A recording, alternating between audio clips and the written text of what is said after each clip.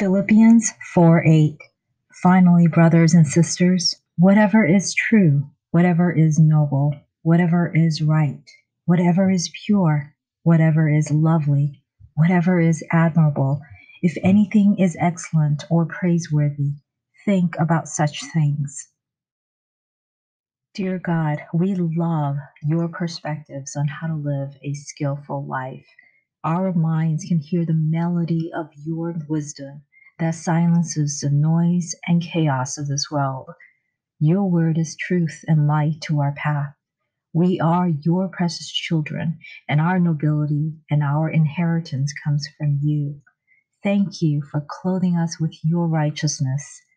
Jesus' lovely face and pure sacrifice on the cross are truly admirable acts for our mind to focus on Excellent and praiseworthy are your works in our lives, Holy Spirit. There are so many examples in the Bible and testimonies of people that beautifully illustrate what our minds ought to focus on.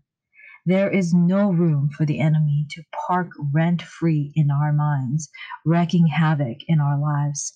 You are no longer allowed in our minds.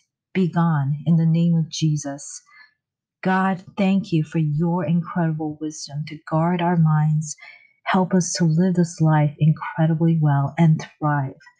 Thank you, Holy Spirit, for transforming us to be more like Jesus each day.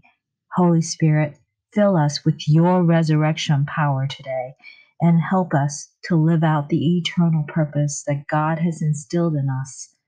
We are grateful to you for revealing to us the hidden knowledge of the purpose you have in each and every one of us, expanding our skill sets to navigate every challenges that we face in this world and equipping us with resources to carry them out to fruition.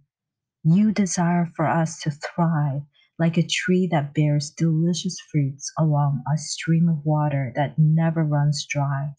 Lord, we choose to abide in you and we love you more than anything in this world.